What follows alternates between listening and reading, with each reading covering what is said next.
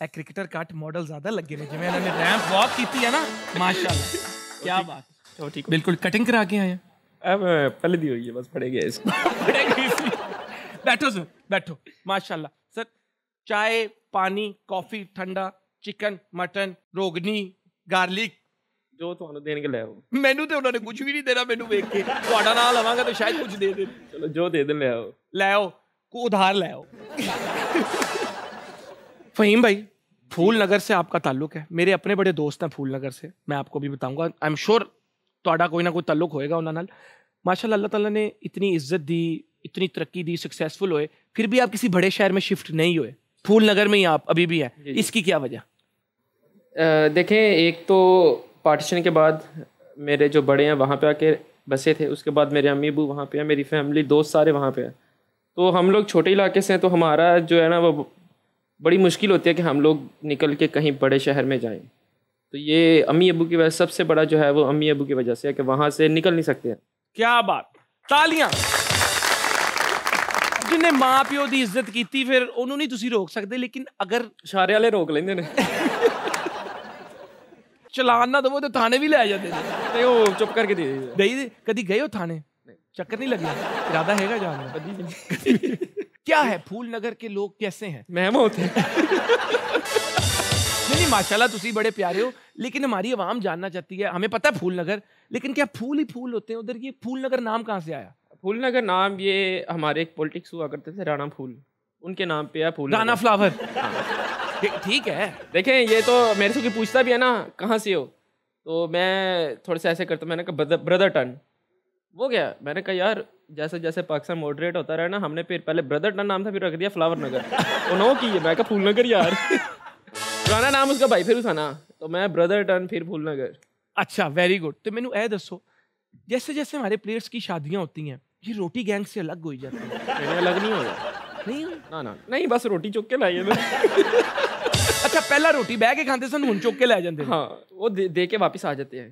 हम लोग इकट्ठे खाते हैं अपनी मतलब वाइफ को भाभीियों को दे जाते हैं खाना खुना अच्छा वो जहाँ से रोटी लेके मतलब वहाँ दी खाते हम लोग इकट्ठे हैं जितने हम दोस्त हाँ। हैं। खाते हैं इकट्ठे ही हैं हम खाना एक साथ ही मंगवाते हैं। ये होता है कि भाभीियों को फिर वो दे आते हैं फिर हम लोग फिर उन पर भी होता है ना कि इसी बहाने तो हम बाहर निकले हैं बिल्कुल ठीक है ये जरा भाभियां भी नोट कर लें ये ये जेडे बहाने यूज कर रहे हैं ना ये हुन भाभी हमारी भाभियां टाइट करेंगी तो अगर रोटी गैंग के बॉयज बाहर खाने चले जाएं तो कोई एक है जिस पे प्रेशर बिल का डलता है या सारे माशाल्लाह अमेरिकन सिस्टम के साथ चलते हैं या कोई निहायत कंजूस भी है बीच में हारिस कंजूस हारिस भाई टोटल मतलब सिर्फ दुआवा देंदे ने नहीं पैसे देंगे लेकिन बहुत ना ਉਹ ਉਹਦਾ ਹੁੰਦਾ ਕਿਸੇ ਤਰੀਕੇ ਨਾਲ ਕਹਿੰਦਾ ਹੈਰੀ ਚੱਲ ਤੂੰ ਨਾ ਹੀ ਦੇ ਲੇਕਿਨ ਅਸੀਂ ਵੀ ਕਹਿੰਦੇ ਹੈਰੀ ਸਭ ਤੋਂ ਪਹਿਲੇ ਤੂੰ ਦੇਂਗਾ अच्छा ऐसा कोई जिस पे हमेशा डाल ही जाता है बिल नहीं वो होता हमारा होता है अमेरिकन सिस्टम का शुरू से ही ऐसे है शुरू से हम जो अमेरिकन चार- सिस्टम जो है। चार पांच बंदे हैं ना हमने ऐसे करना अगर कोई नया लड़का आएगा उससे हम पैसे नहीं लेंगे उससे हम अच्छा खुद खिलाते कितनी हैं। देर नए लड़के से क्योंकि नए ने एक भी टूर, पुराना होना है बाद एक में टूर। बस एक टूर हाँ, एक टूर। अगले टूर से ਉਹ ਭਾਵੇਂ ਮਹੀਨੇ ਦਾ ਹੋਵੇ ਭਾਵੇਂ 2 ਮਹੀਨੇ ਦਾ ਭਾਵੇਂ 4 ਦਿਨ ਦਾ ਹੋਵੇ तो जी छह महीने का टूर हो गए फिर ਫਿਰ ਵੀ ਫ੍ਰੀ ਸਾਡੇ ਵੱਲੋਂ ਰੋਟੀ ਭਾਵੇਂ 4 अच्छा स्कॉलर आपकी तरफ से स्कॉलरशिप है नए लड़कों को। ਚਾਹੇ ਇੱਕ ਲੜਕਾ ਹੈ ਚਾਹੇ ਚਾਰ लड़के हैं सबको फ्री लो जी जितने नए लड़के अपना पाकिस्तान में आगे क्रिकेटर्स बनना चाह रहे हैं पहला टूर आपका इंशाल्लाह स्कॉलरशिप है फीब भाई की तरफ़ से ये ऐलान है। तो बस दुआ करो कि अल्लाह ताला पहला टूर ऐसा दे जो बहुत ही लंबा हो। ठीक है? फ़हीम भाई माशाल्लाह हमारी रिसर्च टीम ने बताया कि आप माशाल्लाह टोटल सात भाई हैं। जी जी। तो मोहल्ले में जब बचपन में क्रिकेट खेलते होंगे तो सबसे ज़्यादा शोर तो आपके लिए बचता होगा। और टीम हमारी अपनी होती थी। और बदमाशी भी हैवी बड़े सात भाई लोग तब तो मैं छोटा था, था ना जब वो मोहल्ले की टीम थी। नहीं बदमाशी भी ठीक होती थी अरे सत भरा ने ਉਹ ਧਿਆਨ ਨਾਲ ਸੱਤ ਭਰਾ ਮੇਰੇ ਕਜ਼ਨ ਚਾਰ ਤਾਏ ਦੇ ਬੇਟੇ ਚਾਚੂ ਦੇ ਬੇਟੇ ਮਹੱਲੇ ਦੀ ਸਾਰੀ ਸਾਡੀ ਆਪਣੀ ਰਾਜਪੂਤਾਂ ਦੀ ਟੀਮ ਸੀ ਸਾਰੀ ਕਜ਼ਾਫੀ ਸਟੇਡੀਅਮ ਅੱਧਾ ਇਨਕਲੋਜ਼ਰ ਤੇ ਤੁਸੀਂ ਭਰ ਦਿੰਦੇ ਹੋਵੋਗੇ ਆ ਪਿੰਡ ਤੋਂ ਆ ਜਾਣ ਲੜਕੇ ਤੇ पहली दफा पिंड से आए थे काफी लड़के जब इंटरनेशनल खेला नहीं इतने नहीं आ पाए मैं इधर खेला नहीं था मेरा डेब्यू इंग्लैंड में हुआ था पाकिस्तान में क्रिकेट नहीं थी हो रही ना तीन साल तो क्रिकेट नहीं हुई मेरा वीजा डेब्यू शीजा लगवाने का नहीं कुछ किया उनके वो बेचारे कहाँ जाएंगे वहाँ इतनी दूर थक जाएंगे अच्छा पैदल जाना सीखना है। अच्छा ठीक है। तो जब उसके बाद पहला इंटरनेशनल मैच लोकल किस शहर में खेला? पाकिस्तान में लाहौर में। लाहौर में खेला। कैसा एक्सपीरियंस था अपने अपने मुल्क में पहला अपना इंटरनेशनल मैच खेलने का? डेब्यू मैच था वो तो प्रेशर सी सारा। प्रेशर सी। तो रिलीज़ किंज की था? तो बस खेल खेल के हो गया। खेल खेल के प्रेशर रिलीज़ वो पहला मैच था डेब्यू मैच था टी ट्वेंटी का। वर्ल्ड इलेवन का। वो याद रहता है बंदे को पहला मैच सारी याद ज़िंदगी याद याद है रहता है। क्या क्या एक्सपीरियंस था जब आप ग्राउंड में जा रहे थे कुछ कलमा पाड़े सो दुआवा कर रहे सो? क्या क्या एक्सपीरियंस क्या मैच के दौरान मैं कहता हूँ हमसे अच्छा मुसलमान ही कोई नहीं है। और मैच के बाद? मैच के बाद वही आम रूटीन जो बाकी पहले होती है हमारी वही मैच के बाद हो जाती है।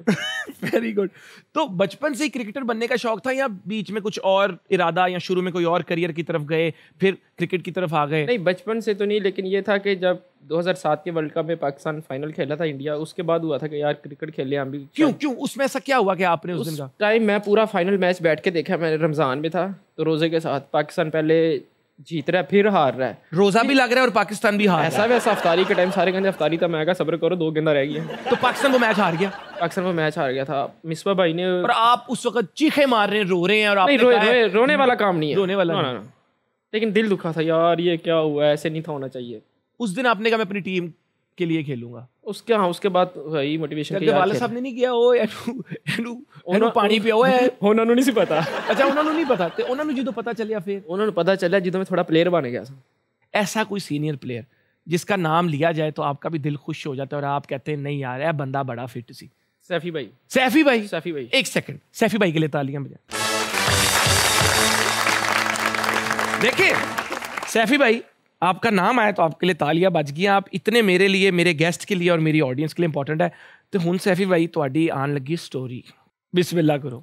ये स्टोरी ऐसी कोई नहीं है लेकिन सैफी भाई का ये है कि अगर आप सैफी भाई के साथ बैठे हैं ना सारा दिन भी बैठ जाओ बोर नहीं हो गए नहीं क्या सैफी भाई क्या करते हैं? सैफी भाई जो टॉपिक मिल जाए उस पर ऐसे घंटा दो घंटे लगाए हैं कि आप कभी बोर नहीं हो गए उस उनके साथ बैठ के।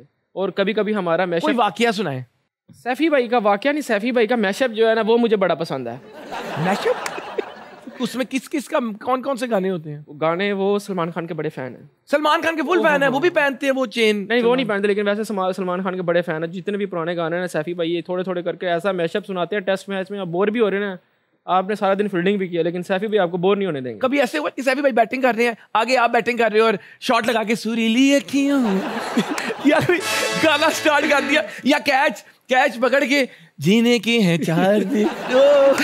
ओ, कुछ मतलब कोई वाकया नहीं, ऐसा मैं, सुना है? मैंने बोला है मैच के दौरान साढ़े तो सच्चा मुसलमान को नहीं होता हाँ ये भी गल सही है वो है कि हम लोग जब बाहर बैठे होते हैं तब की बात है 2017 चैंपियंस ट्रॉफी में आप सिलेक्ट हुए इंडिया को हराकर पाकिस्तान जीता भी तब जश्न कैसे मनाया था तब जश्न सच हकीकत देखो हुन सच्ची गल करनी है फीम साहब ਤੁਸੀਂ जी- ਬੰਦੇ ਨਡਰ ਬੰਦੇ ਹੋ देखो जी मुझे नहीं लगता कि किसी ने मुझे कोई सेलिब्रेशन करते या कुछ ऐसा करते गुस्सा होते देखा वो वाहद मैच था जो मैंने अपनी ज़िंदगी में सेलिब्रेशन किया हमें भी नहीं पता जीते हैं ना, बस ये था कि बस कुछ कर दिया। ऐसा कर दिया हमारी टीम ने कि जो सबसे बड़ा है, ऐसा था बस। तो सैफ़ी भाई, जितने हमारे लड़के हसन, सारे हमारे, हसन साहब, हम सब अभी नए नए थे सारे। सबने ऐसा मतलब जश्न हुआ है, सबने ऐसी सेलिब्रेशन किया। मैं कहता हूँ, उस, ना उससे पहले हमने की होगी, ना उसके बाद की होगी। वाकई। वो मोमेंट कभी भी नहीं भूल सकते वो नहीं भूलता। तो फूल नगर में तो बड़ी फायरिंग की होगी उन्होंने। ठा ठा ठा। उधर से ज़्यादा तो इधर फूल नगर में सेलिब्रेशन हुई होगी। इधर क्या हो रहा था? उलनग ऐसा वैसा रश सी मैं कोई दो हफ़्ते सानू चैन नहीं मिला दो तीन हफ़्ते। दो तीन हफ़्ते चैन ही नहीं लभ्या। तो की कीता? लेकिन ये था कि थोड़ी सी होती है कि उसके बाद घर वाले बाहर नहीं थे निकलने देते। क्यों? भाई अंदर में। मिल मिलने वाले भी आते थे ना काफ़ी।